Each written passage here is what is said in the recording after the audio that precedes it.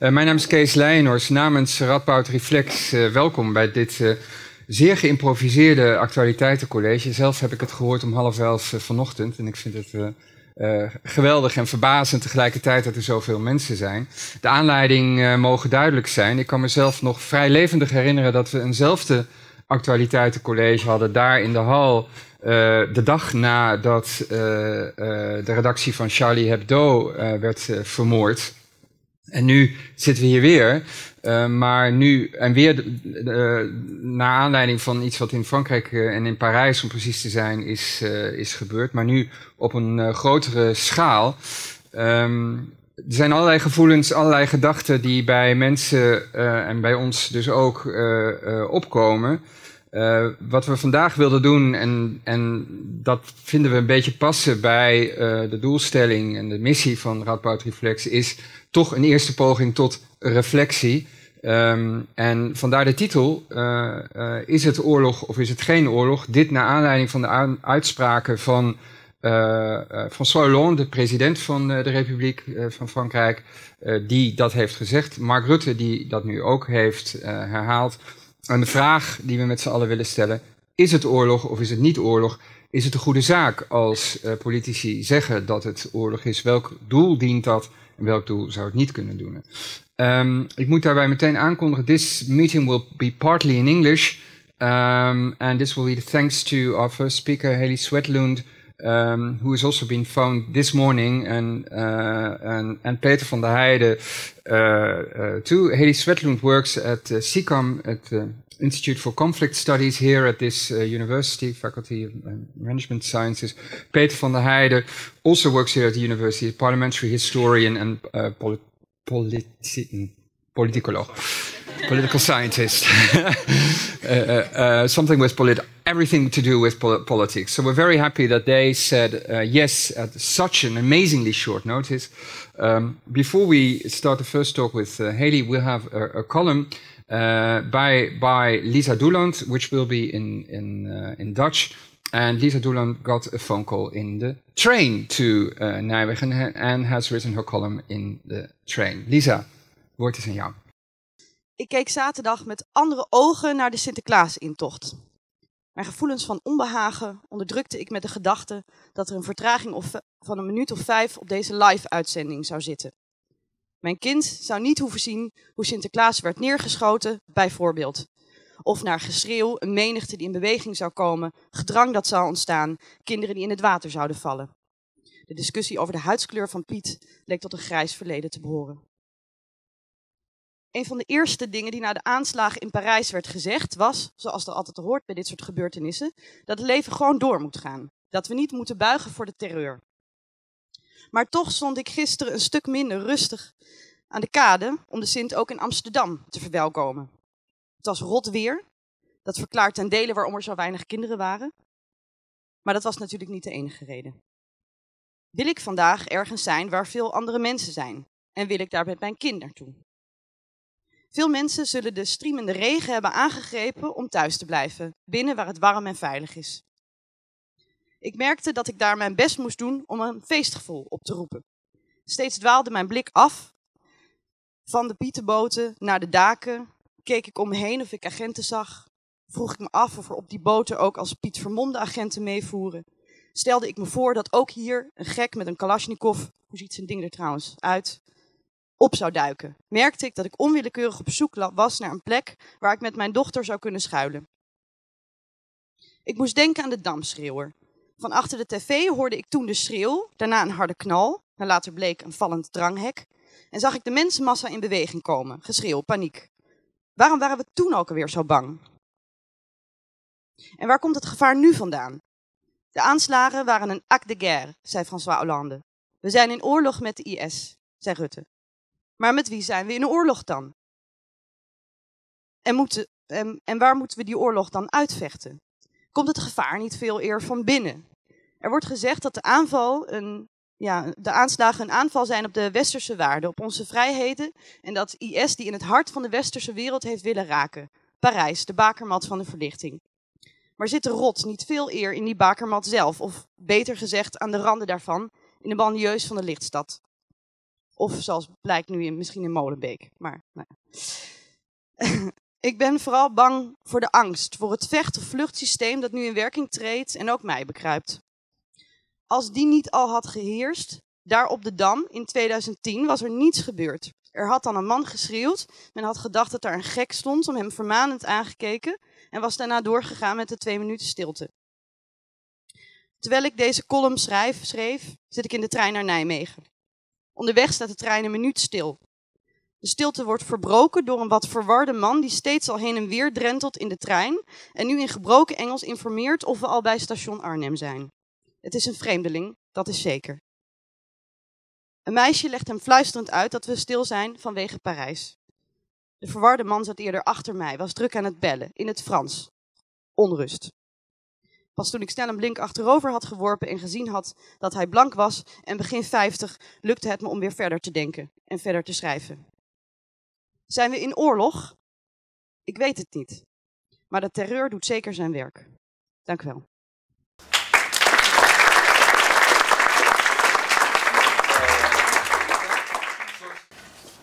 Well, thank you to the organizers and to Radboud Reflects for providing a space for discussion and reflection on the events that occurred in Paris on Friday. This is, in my opinion, uh, import- incredibly important in times such as this, when our debate and discussion is often driven largely by fear instead of by measured and nuanced responses to the events which will have direct and very important long term implications on the societies in which we live. The events in which occurred on Paris on Friday are unfortunately not an anomaly, and it is important to remember that the many lives which have been lost and disrupted by this conflict beyond Paris, in Beirut, the Sinai Peninsula, Syria, and elsewhere. The tragic events in Paris on Friday do, however, represent a pivotal moment in history, and therefore it is important to reflect on how we as a society will, will respond to them. So many of us are understandably quite shook by the events of Friday, not only because they remind us that this conflict has very immediate and direct implications on our daily lives, but also because we, we have an emotional attachment to Paris, so the city of light, the city of love, and what it stands for. While our emotional response to these events is quite understandable and needs to be recognized and given a, a space and, and to be acknowledged, we also need to be quite careful to make sure our response at a political level is not driven by fear. So, as an American, I observed quite directly uh, what I perceived to be a policy largely driven by fear in the wake of 9 11. In the days following 9 11, I saw a fear promoted, that promoted a response which often failed to take into account the longer term implications of our actions. It was often immediate and reaction based rather than measured and based on an analysis of not only the possible implications of our response, but also on the motivations of the attackers and the mastermind behind the attacks on the Twin Towers and the Pentagon. In situations such as this, I think it is essential to be able to take a step back from fear for two key reasons. So, first, our response to these events needs always to keep in mind why people engage in acts of terror and terrorism to begin with. If the goal of terrorism is indeed to inspire terror or fear, then having a policy which is based on this knee jerk reaction only serves to reinforce the reasons why people engage in these acts to begin with. Second, and as I have already hinted at several times, fear can often promote a response that is often rash, reactive, and lacking nuance. We need instead to be making decisions that take into account the possible long term implications of our actions what has what is decided in the coming days, indeed what may have already been decided and already put into motion, will have effects on our society for, for decades. And it is therefore essential that our response is not driven by an immediate pressure to show that something has, has happened, that something has been done. Rather, our response needs to be based on a nuanced analysis of the situation. This is often the first thing to go when fear is driving the decision making. The question posed by this event is whether we are now at war. I would ask us to reflect a bit more on what it means to be at war. This term has political consequences, and once we go down that road, it is very difficult to return. And it matters how we label events and our own actions. So the events of Paris drive home the importance of the situation, and no doubt will be seen as a critical juncture just as 9 11 was. However, we also have to be careful to recognize that where we go from here is not inevitable. The more we are able to remove fear from our decision making calculus, the easier it will be to make decisions that are based on the long term implications of our actions and decisions that take into account essential nuances and details of the situation. With that in mind, I would call on us as a, as a university community in the coming days to do all that we can to encourage a discussion that is not driven based on fear, but is based on the need to provide a measured response to the events in Paris, that tragedy, to the threat of ISIS, and also to the threat of terrorism more broadly. Thank you.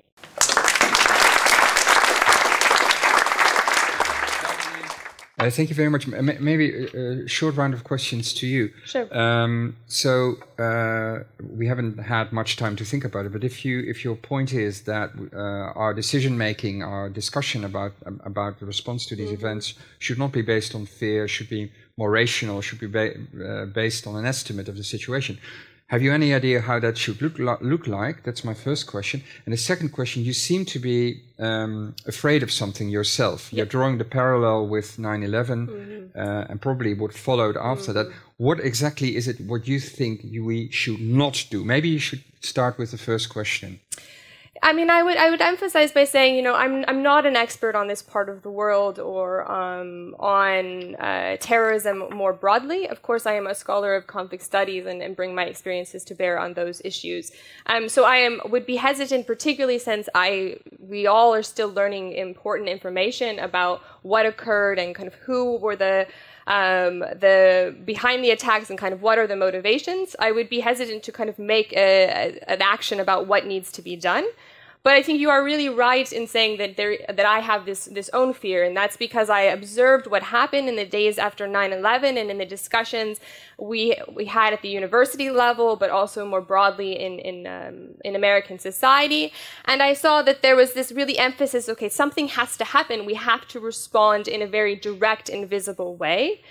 And what I would say is that it, it really under oftentimes missed what we know from the theoretical literature on terrorism, which is kind of why people engage in terror mm-hmm. is to, to provoke fear, right? To provoke terror. And so if we, we make our political decisions based on on exactly what was intended uh, of these terrorist attacks, then I think that that's the that's the wrong route.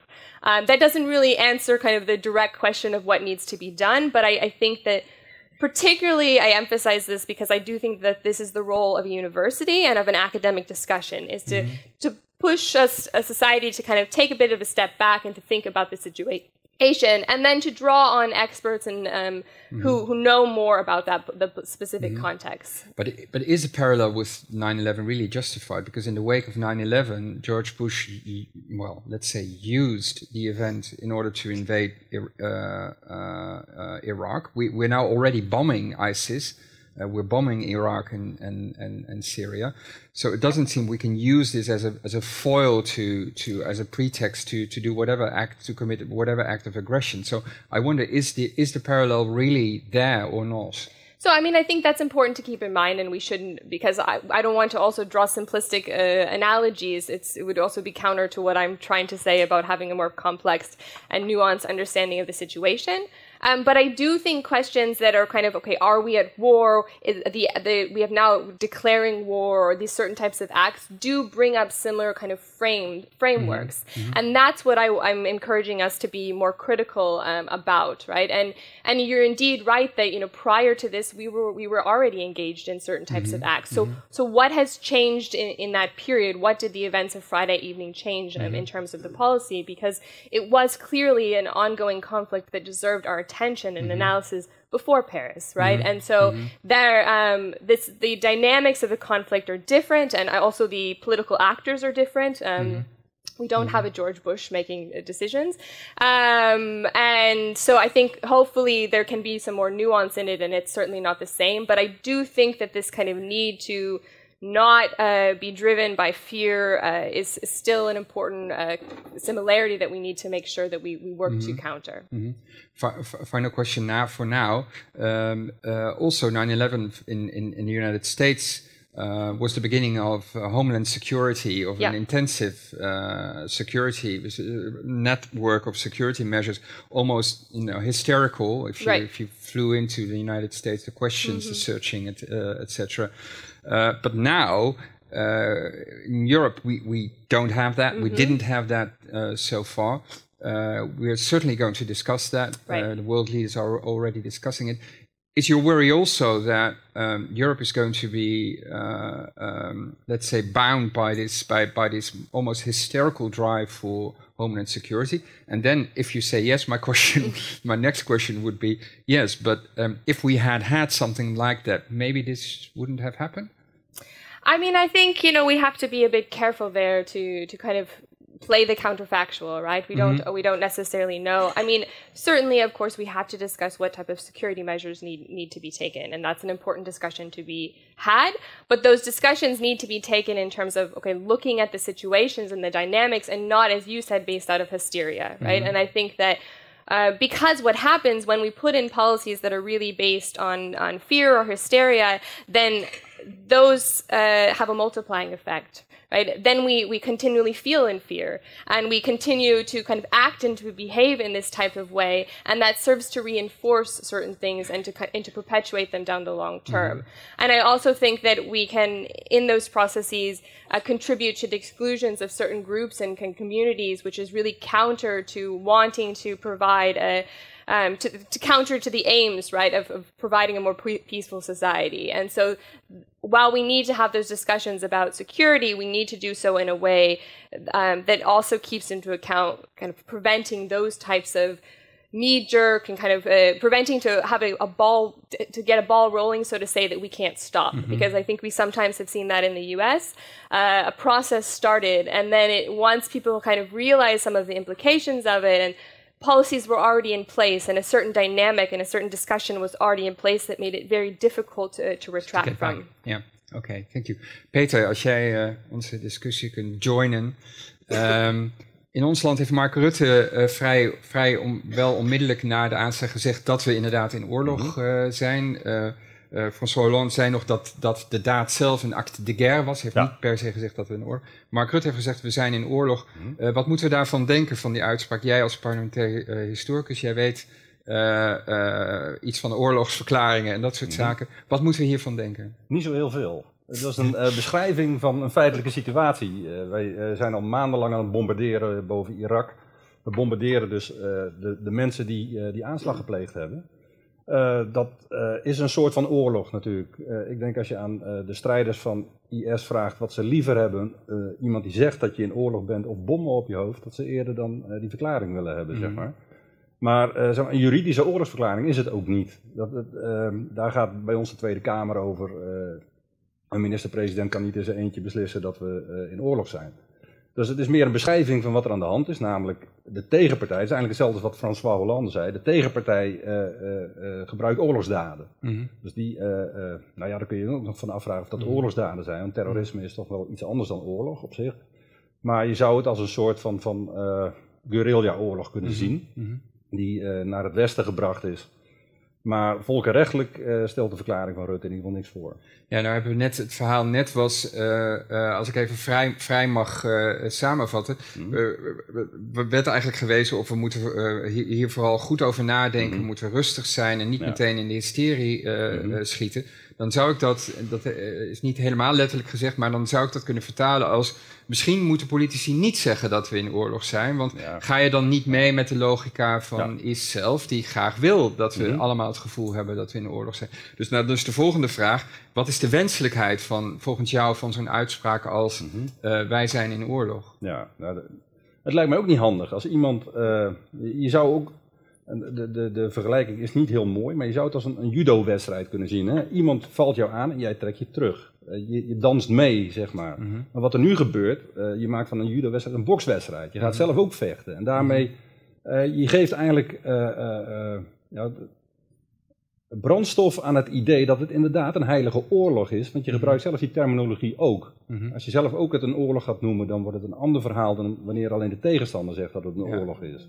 Nou, ja, wat dat betreft vind ik het onwenselijk. Ja. Mhm. Maar nou kan ik me voorstellen, ik zou niet, niet nu graag, ik zou sowieso niet graag Mark Rutte zijn, maar nu Mhm. sowieso niet. Eh, om, om, omdat het tegelijkertijd natuurlijk vanuit het publiek, eh Lisa noemde het ook Mhm. al, eh, we zijn met z'n allen toch best wel bang. En dat is denk ik Ja. gewoon een, een, een feit. Nou denk ik wel dat we, zeker in Nijmegen, niet heel erg hoog op de IS-hitlist staan, maar we willen ook wel eens naar een concert, we willen ook wel eens naar een museum, we willen ook naar de intocht van Sinterklaas. En dat is ook een sentiment, dat is een gevoel waar Mark Rutte eh, recht aan, aan moet doen. We hebben wel met z'n allen het gevoel Ja. dat het oorlog is. En we willen eigenlijk ook dat er iets gebeurt. De Ja. overheid is om ons te beschermen. Ja. Is dat niet een soort van duivels dilemma waar hij nu Ja, dat lijkt zit? me wel, dat lijkt me wel. Maar ik heb toch, eh, en daar, daarom ben ik het niet helemaal eens met jou, eh, niet het idee dat het echt uit angst komt allemaal. Ik heb het idee dat het steeds meer uit woede komt. Dat is ook een emotie. En dat is ook niet dat je denkt van, goed, daar is goed over nagedacht, zeg maar. Mhm. Maar ook die, meteen die aanval van eh, Frankrijk op dat opleidingskamp en op het hoofdkwartier, dat is gewoon wraak. Mhm. Dat is niet, we zijn bang dat het weer gebeurt meteen. Nee, dat is, wij laten even zien wie hier echt de sterkste is. Ja, ja. En jullie, kunnen, jullie krijgen ons niet klein. Dat is niet uit angst, denk ik, maar uit, Ja. uit eh, spierballen, machtsvertoon. Ja. Eh, ik zie dat veel meer bij de politici. En eh, daaronder, bij, bij heel veel eh, burgers, zie je toch wel angst inderdaad. Mhm. Maar die angst die wordt ook niet benoemd, die wordt bezworen. Er wordt steeds van gezegd, we moeten niet bang zijn, we blijven gewoon doen wat we doen. Dat zie je in Parijs ook heel sterk, dat mensen juist bij elkaar komen. Het mocht dan nu even niet, maar na Charlie Hebdo zag je meteen grote demonstraties. Die zie je ook hier als er zoiets gebeurt. Mhm. Ehm, mensen proberen die angst in ieder geval in- op die manier eh, te verwerken tot iets eh, eh, wat ze sterker maakt, zeg maar. Mhm. En politici zie je juist proberen die angst, tenminste de meeste politici, er zijn uitzonderingen op, eh, eh, die zie je proberen die angst eh, te neutraliseren. Ja. Door juist Ja. te wijzen op, op kracht, op, op, op eenheid, op gelijkheid, op broederschap, zeg maar, de Franse waarden. Ehm, terwijl dat ook nog wel werkt, heb ik het idee. Dat je mensen ook rustiger ziet worden daardoor.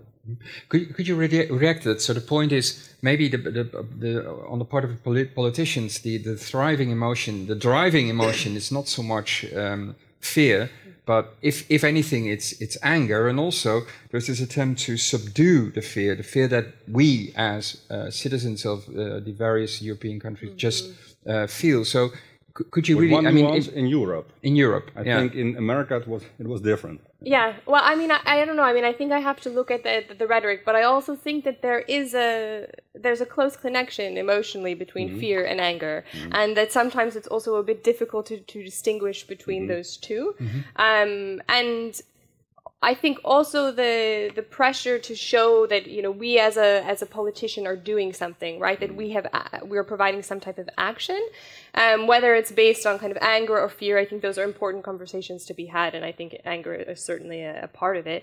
Um, but for me, it's also to kind of take that step back, and there I think that there isn't, of course, and, and this also goes to your, your important point. I mean, it also mattered that we had we had Bush as a political leader in that moment, right? And and so that I we have to be careful not to draw the parallels too strongly.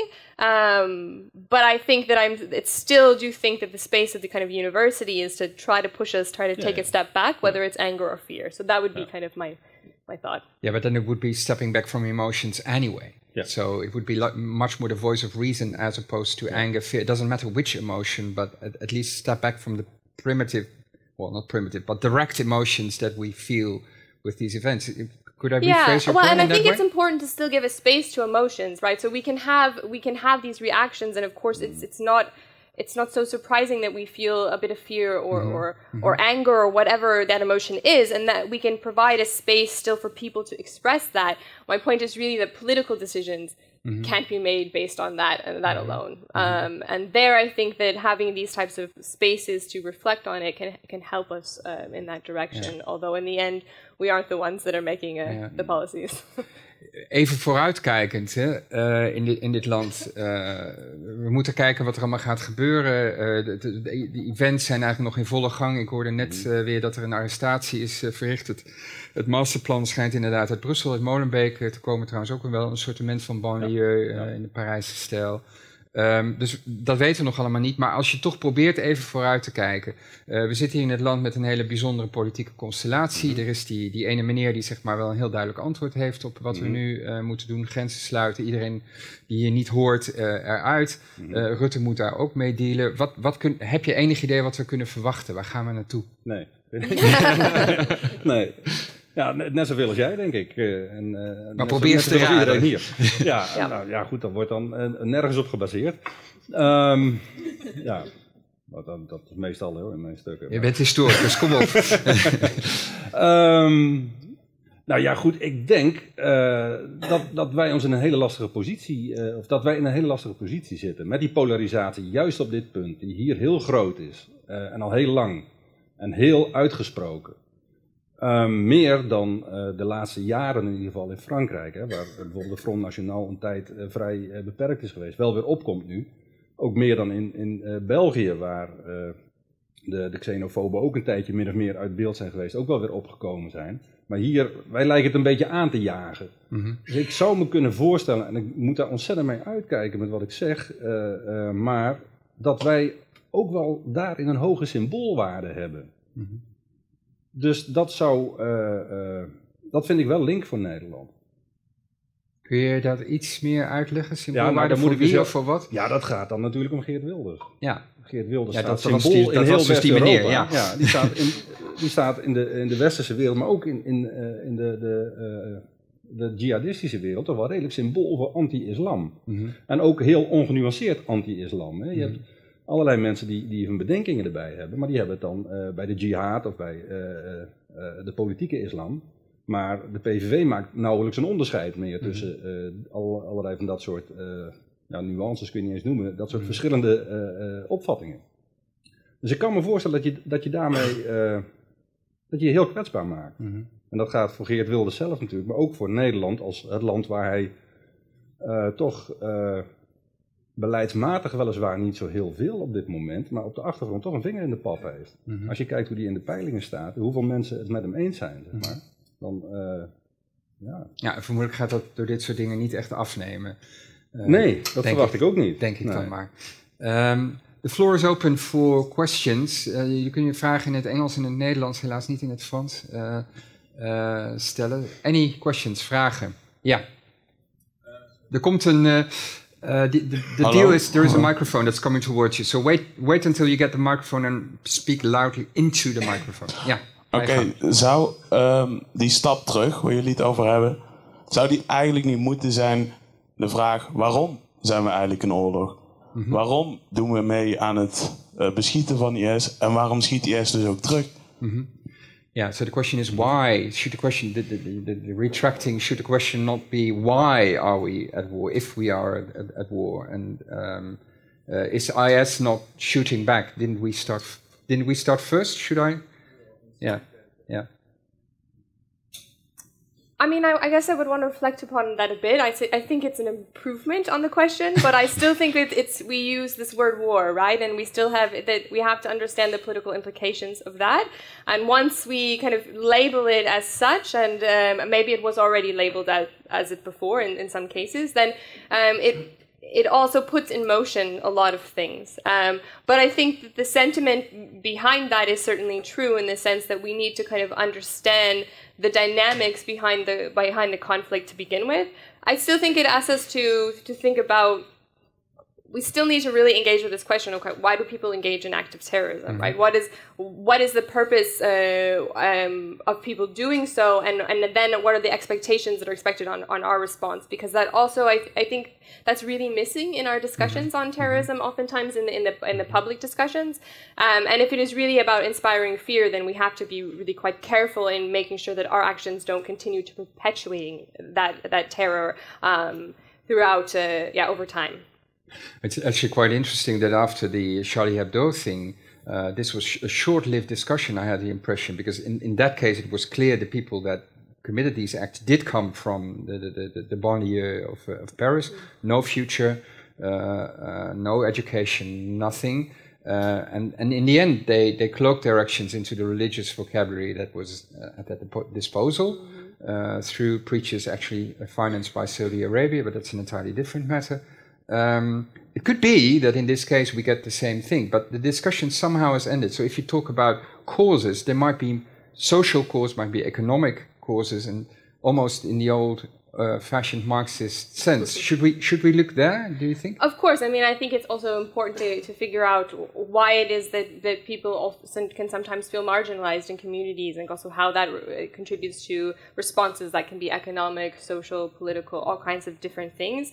I mean, I, I would say that you know we don't we are still getting information also about who who were the the actors in this.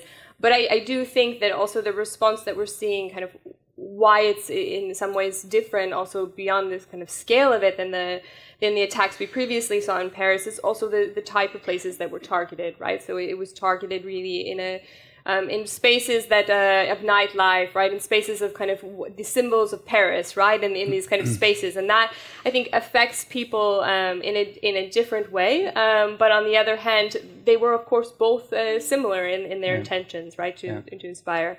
Um, so yeah, but I also think it, the, the reasons behind terrorism are complex, and we're not going to be able to to pick them apart in yeah. this discussion. But I think it's. It, that is certainly something um, that I failed to see in the discussions after 9-11 is a kind of complex discussion of why people engage in terror to mhm. begin with. Mm -hmm.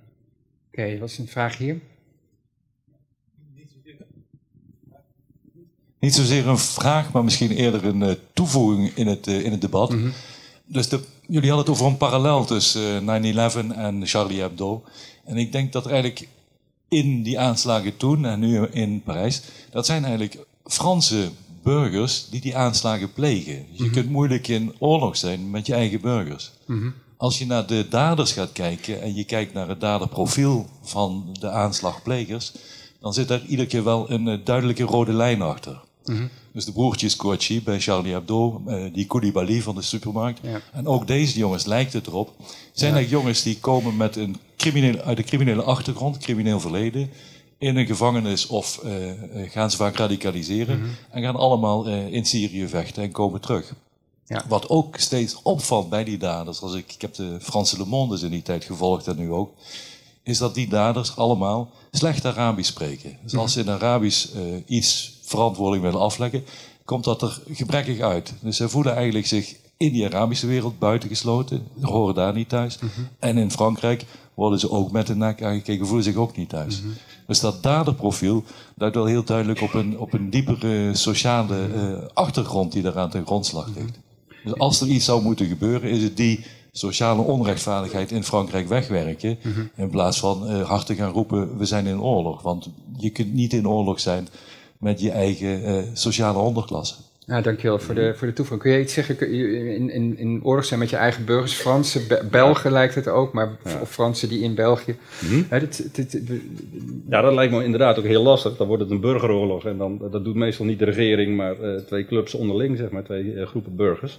Uh, ja, goed, de, de, gedachte erachter natuurlijk is dat het aangestuurd wordt, niet vanuit het binnenland, maar juist vanuit dat kalifaat. Mm Dat dan weliswaar geen erkend land is, dus waar je, waar je ook niet officieel mee in oorlog kan zijn. En daarom is het volkenrechtelijk ook volstrekt een flauwekul wat Rutte gezegd heeft. Maar dat kalifaat vindt zichzelf wel een land en kan dus wel, zeg maar in de optiek van Hollande, een oorlogsdaad plegen. En het kan natuurlijk zijn dat die uh, een soort van, uh, de Fransen hebben zelf ook een vreemdelingenlegioen, waar allerlei mensen uh, van, met, met niet de Franse nationaliteit in zitten. zoiets zien ze dus ook bij IS. Mm en ja, dan ben je dus niet in, in, in oorlog met je eigen burgers, maar wel met uh, de, de vooruitgeschoven uh, militaire terroristen van, uh, van het kalifaat. Maar ja. los daarvan denk ik dat, dat het fantastisch zou zijn als je die sociale problematiek op kan lossen. Alleen zie ik dat ook niet heel snel gebeuren, zeg maar. En die sociale problematiek heeft natuurlijk ook een, een, een heel lastig religieus sausje gekregen met, met islamitisch terrorisme. Uh, waarmee je allerlei tegenstellingen in, in één persoon bijna uh, krijgt. Bij, in één dader die allerlei aspecten heeft en je weet ook niet meer wat je aan moet pakken. Dus ja, dat, dat, dat maakt het voor beleidsmakers ook ontzettend moeilijk. Complex, ja. Nog meer, ja, hier.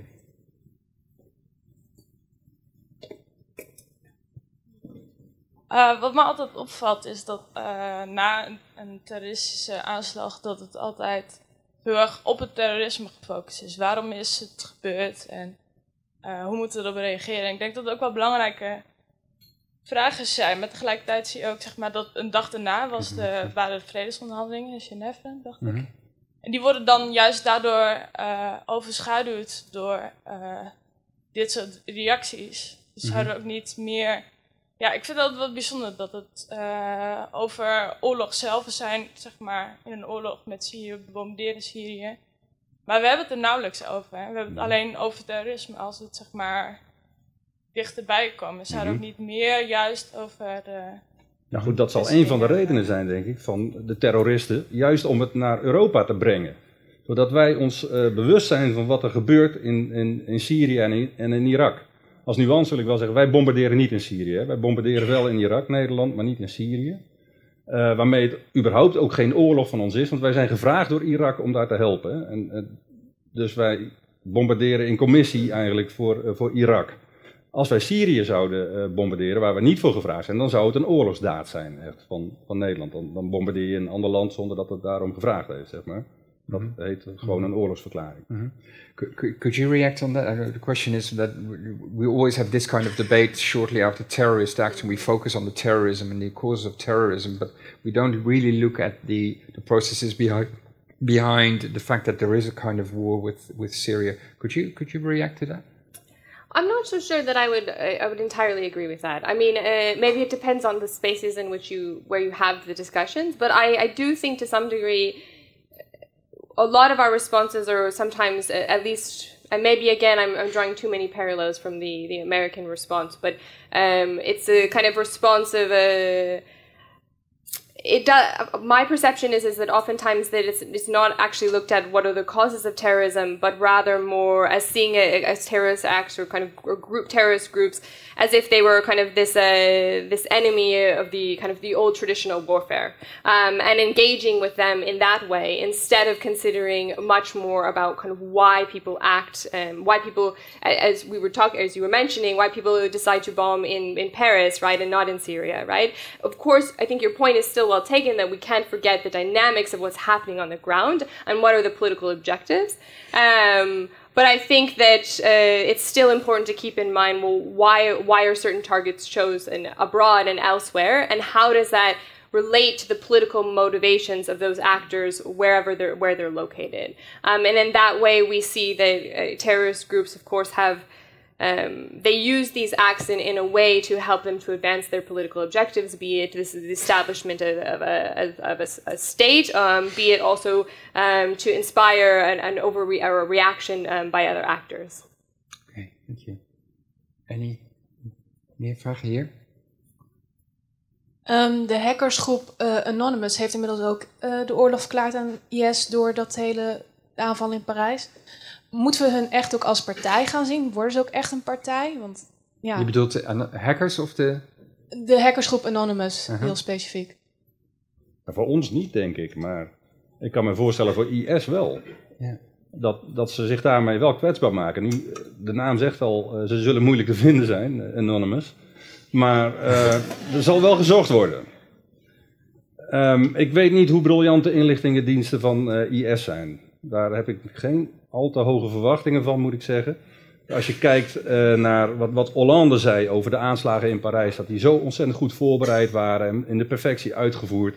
En als je dan bedenkt dat drie eh, mensen met bommen een stadion in wilden gaan en dat is niet gelukt en die hebben buiten eh, de bom af moeten laten gaan, dat is verschrikkelijk. Maar die hebben hun daad niet kunnen uitvoeren die ze eigenlijk wilden. Eh, een ander voorbeeld wat ik gehoord heb, dat vond ik ook wel heel fraai. Mensen die een theater ingaan om daar iedereen te doden, laten de nooduitgang onbewaakt. Dus heel veel mensen hebben toch kunnen ontsnappen. Dat, dat lijkt toch op de een of andere manier ook heel amateuristisch. Ehm, waarmee Anonymous misschien nog wel eh, redelijke veiligheid heeft, zeg maar. Omdat ze toch niet al te snugger optreden vaak, IS. Ja, En dat hoeft ook niet, want het gaat ze niet om, om het slimste jongetje van de klas te zijn. Nee, het gaat ze erom om eh, angst aan te jagen. En ama- amateurisme is dat toch wel goed gelukt, zou ik Ja, zeggen. ja nee, goed. eh, dat- is eh, natuurlijk heel erg gelukt. Maar je- als je je voorstelt wat er had kunnen gebeuren. Als je, stel nou dat dit goed getrainde commando's waren geweest, dan had je een ander verhaal gehad. Nou, ze hadden de president van de republiek kunnen opblazen. Bijvoorbeeld. Ja, ja. ja. zeker. Nou, dan heb je wel een symboolwaarde Dan, pakken. dan, dan heb je de, de gouden... Ja, absoluut. Eh, nog meer questions? Ja. Ehm, mijn vraag bouwt hier eigenlijk een beetje op voort. Ehm, het hele punt van terrorisme is ook dat het vaak heel moeilijk te lokaliseren is en heel onzichtbaar is. Dus zou dan ook niet juist de, de beste reactie zijn om onzichtbaar te reageren in plaats van heel zichtbaar zoals Frankrijk nu zelf heeft gedaan? Ik, ik vermoed dat de, de, de gezamenlijke Europese veiligheidsdiensten heel erg bezig zijn met heel onzichtbaar Ja. te reageren. Dat denk ik ook. Er gebeurt van alles eh, wat je nog niet weet. Ja. Eh, alleen wat, eh, wat, wat blijkbaar ook nodig is om aan je burgers te laten zien, we doen wat. Ja.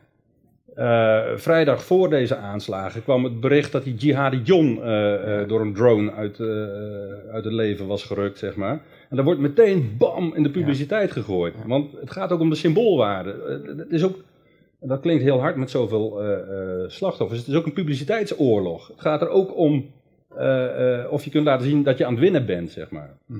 Eh, wie, eh, eh, Kerry heeft vorige week nog gezegd dat de dagen van IS geteld zijn. Nou ja, dat hebben ze even laten zien dat dat nog wel meevalt op zich. In ieder geval dat die laatste dagen nog heel bloederig kunnen zijn dan in ieder geval. Dus ja, ik vind dat heel lastig. Ik, ik zou ook denken dat er op de achtergrond heel veel gebeurt. We weten ook niet hoeveel aanslagen er voorkomen zijn natuurlijk. Dat kunnen er ook nog aardig wat zijn. Ehm, aan de andere kant moet je ook bedenken, zeg maar, met die oorlogsverklaring die we hebben gehad van Rutte, de zogenaamde oorlogsverklaring, die hebben we in 2001 ook gehad, die is nooit ingetrokken. Dus we zijn eigenlijk al 14 jaar in oorlog met, eh, met het eh, internationaal terrorisme. Toen eh, de Twin Towers zijn aangevallen, heeft Kok ook gezegd, we zijn in oorlog met het internationaal terrorisme. Dus dat, dat is niet nieuw en in de tussentijd hebben we eigenlijk geen, geen, zelf geen, geen echte invasies gepleegd, zeg maar. Dus ja, de, de, de- een volkenrechtelijk oorlog is het niet. I, I, but it raises the question, the, the question about the visible and invisible uh, responses. The invisible response being the responses of the security services that no doubt are now uh, making overtime, all of them. Um, isn't it true that also in the wake of, if, if you draw the parallel with 9-11, what became very visible in, in the media was indeed homeland security, uh, striking back, etc. Um, how important is that with respect to, to the kind of more invisible, she said, uh, responses by security services, etc. Could, could you say something about these different levels? I would say the kind of invisible responses by security sectors, as well as what maybe you could call the invisible responses by society at large, right? Also, I think it's really important that we so we ha- we certainly have these certain security procedures that we have to take into account, and and, and actors are, are proceeding that way. Um, but on the other hand, it's also about how we respond as a community, right? To make sure that we also uh, societally express that uh, we understand that this is a, a group of, ex- of extremists and this is not representative of a larger community or a larger religion or a larger society, and that it's also about uh, to me, that's also what I try to emphasize when I think about fear and kind of hysteria. It's also to make sure that those kind of invisible processes continue to happen, um, and at the same time, of course, then we have certain security measures and things uh, which are which are Mhm. ongoing that we know somewhat about, um, but oftentimes don't know about until much later. Kijk, het is ruimte voor een laatste vraag. Voor de final question, ja? Achter je, ja. Nou, even voortbedurend op wat die meneer hier recht zei, dat ehm, er ook heel veel ehm, onrust is binnen ehm, Frankrijk zelf eh, op economisch vlak bijvoorbeeld. Is het niet ook in het voordeel van de IS om maar sowieso elke aanslag op een westers doel te erkennen, ondanks, ongeacht of ze er zelf bij betrokken zijn of niet? Begrijp ik de vraag helemaal? Ja, ik wel. Oké, dat lijkt me wel. mag jij hem antwoorden? Natuurlijk, als, er, als er ergens een bom afgaat, dan kun je meteen roepen dat je het bent. Eh IS Ah, riep toch ook meteen eh, dat ze dat vliegtuig neer hadden gehouden met een Ja. raket. Blijken ze geen raket te hebben, maar is het waarschijnlijk een bom geweest. Maar de vraag is dan ook natuurlijk, zitten ze dan wel echt achter als ze eerst Ja. Eh, het verkeerde eh, wapen noemen? Het is het, het omgekeerde als met, met eh, de MH17 natuurlijk, waar iedereen echt ervan af probeert te blijven, omdat je dat niet op je geweten wil hebben als, als land, zeg maar, of als, als, als, als een rebellenleger, omdat ze het verkeerde doel te pakken hadden. Maar voor IS is alles wat, wat angst aanjaagt interessant om, om je toe te eigenen, zeker. Ik kan me ook voorstellen dat, dat die mensen helemaal niks met IS te maken hadden. Nee. Dat ze Nee. daar wel op geïnspireerd zijn, maar helemaal geen lijntjes echt met IS hadden. Dat ze dat zelf bedacht hebben. En dat IS dan achteraf zegt, ja maar dat hebben wij gedaan. Zeker ook op Zeker ook omdat in eerste instantie een videoboodschap van IS kwam waarbij ze het niet erkenden en daarna Ja. wel. Ja. Ja, ja en je krijgt, dat, dat hebben we ook al wel gezien, dat Al-Qaeda het opeist en IS. Ja. Ja, dat Ja. wordt natuurlijk ook. dat- Je hebt daar ook zo'n Monty Python aflevering van, van allerlei verschillende terreurgroepen die alles opeisen. Dat, dat, dat wordt bijna komisch op een gegeven moment. Waar het niet dat het zo, eh, zoveel slachtoffers oplevert. Oké, we moeten hier stoppen. Ehm, eh, zoals net gezegd wordt, eh, het is denk ik taak van een universitair academische gemeenschap om het debat hierover gaande te houden. Dat is een opdracht voor ons allemaal. Dankjewel voor het stellen van die opdracht. En we hebben, Radboud Reflex heeft zijn best gedaan, haar best eh, gedaan om dat eh, vandaag zo te doen. Laten we hopen dat het debat doorgaat. De informatie komt binnen, maar de vraagstukken blijven denk ik open. En ik vermoed maar dat meer nog dan na de eh, aanslag op Charlie Hebdo we hier nog heel lang over door blijven praten. En ik hoop dat eigenlijk ook, want we, we weten allemaal niet waar het naartoe gaat. Dank jullie wel voor de komst en voor jullie aandacht en voor jullie vragen. En namens Radboud Reflex, tot de volgende keer. Dank jullie wel.